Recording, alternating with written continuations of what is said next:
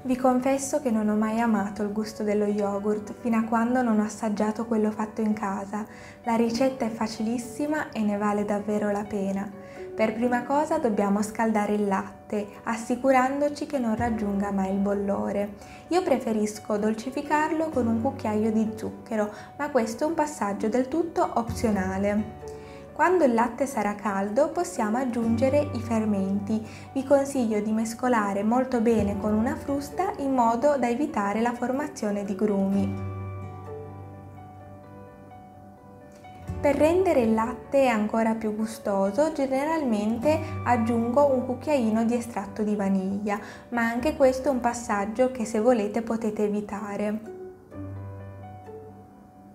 A questo punto versiamo il latte nei contenitori in vetro, vedrete che gli ultimi due hanno un colore più scuro perché sono andata ad aggiungere del cacao in polvere, ma vi consiglio di aggiungerlo solamente se amate il gusto del cioccolato molto forte.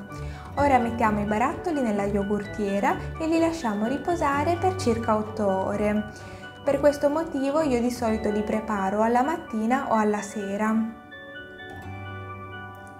Trascorso il tempo necessario possiamo estrarre i barattoli, farli raffreddare e guarnirli con quello che vogliamo. Io in questo caso ho aggiunto della composta di frutti di bosco, delle scaglie di cioccolato e della frutta secca, ma voi potete sbizzarrirvi.